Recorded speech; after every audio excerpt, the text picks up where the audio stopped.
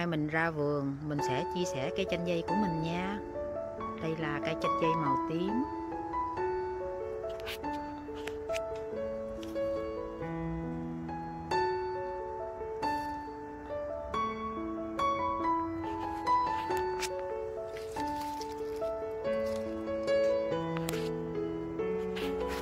Đây